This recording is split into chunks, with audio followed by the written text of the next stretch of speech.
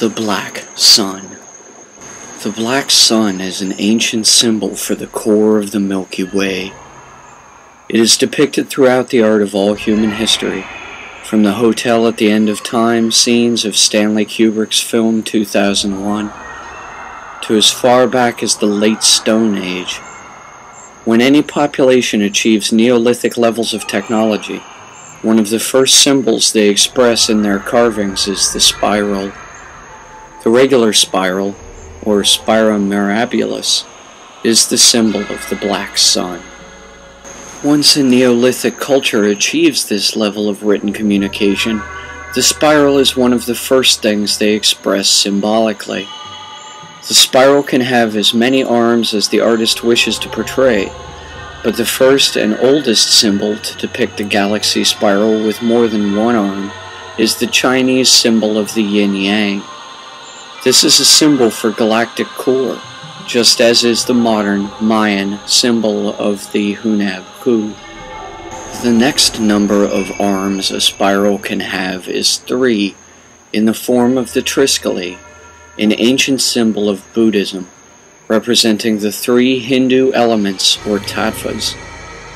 This symbol appears around the world as well, and has specific traits such as being a depiction of the number 666.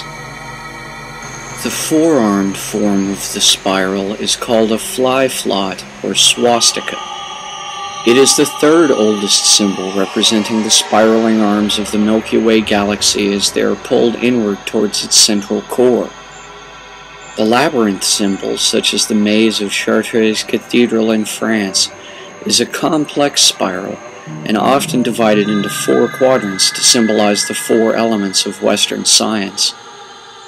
The most familiar form of this design now is the Nazi crooked cross motif, which shows the rotation of its four bars around in an anti-clockwise motion. Curiously enough, the galactic spiral appears counterclockwise only from below in the southern hemisphere. However, from magnetic north, the galaxy appears as a six-armed clockwise spiral. Our own sun appears in the third arm in, or the fourth counting outward from galactic core. The central hub of our Milky Way galaxy is tilted slightly from a right-angled orientation to the plane of the galaxy. Inside this massive star cluster, we will find the origin for the symbol of the black sun. Here, in the midst of this core cluster, we begin to see the spiraling of nebulae inwards towards the exact center of our galaxy. As we approach this spiraling nebula, we can identify the star systems closest to the core of the Milky Way. The core's innermost star cluster is a system in the constellation Sagittarius, called the Sagittarius A star system.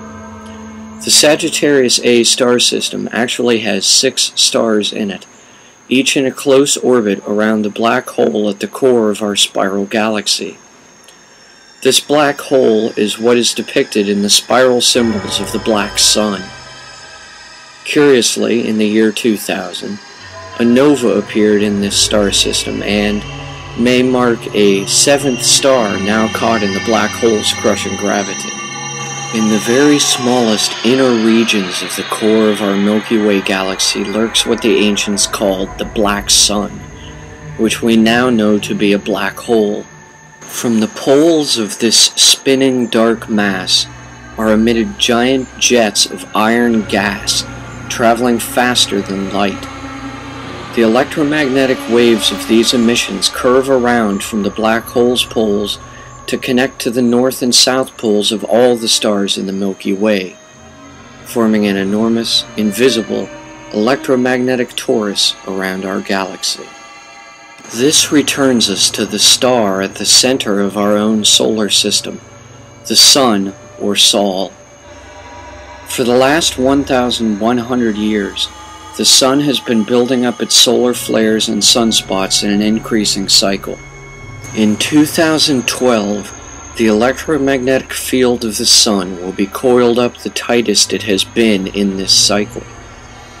The Sun has been dormant for the last few years, and has had zero sunspots for long periods during that time.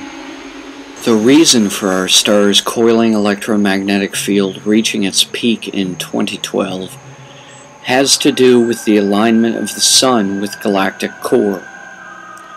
When the orbital plane of our solar system aligns with the accretion disk of galactic core, and our star eclipses the black sun at the center of the Milky Way, the solar cycle will restart from zero. When the Sun, our star, eclipses the black hole at the core of the Milky Way, I predict that the electromagnetic toroidal rays connecting the poles of the galaxy's stars to those of its core black hole will become momentarily invisible. This will mean that during the eclipse, the light we see reaching us now from distant stars beyond our galaxy will disappear and the true form of the universe beyond will be revealed. While we base much of our modern sciences upon observations made about distant stars and galaxies on the light from photons reaching us now, the true image of the universe beyond these photons is very different.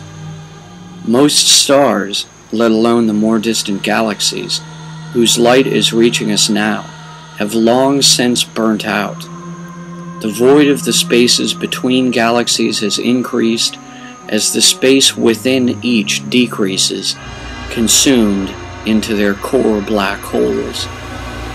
The marvelous wonder of the universal filaments and walls of galactic clusters will vanish during the 2012 eclipse of the local suns, just like the blue sky becoming transparent during an eclipse of the sun by the moon. When the eclipse is finished, it will reappear and defy us more than ever to compare this illusory image to the patterns of neurons inside our own brains. In 2012, the black sun will shine, and the symbols now known only to some will then have a new meaning that can be easily understood by all. The Black Sun.